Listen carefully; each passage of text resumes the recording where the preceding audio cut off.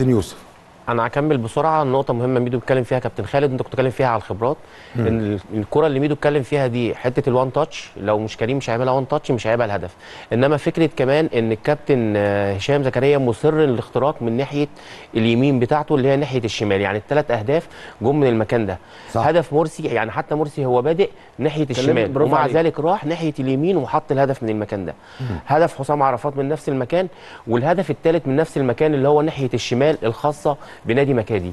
الجميل كمان إن كريم مصطفى هو اخذ مكان حسام عرفات. يعني هو كان دايما حسام هو اللي فوق وكريم اللي تحت منه. حصل تبادل بس في الكرة دي اللي حصل منها الهدف الثالث حلو. يحسب لمكادي زي ما أنت قلت الاحترام. الاحترام. اللي عجبني جدا في الكابتن آه، عثمان إن هو اشتغل بشكل هجومي.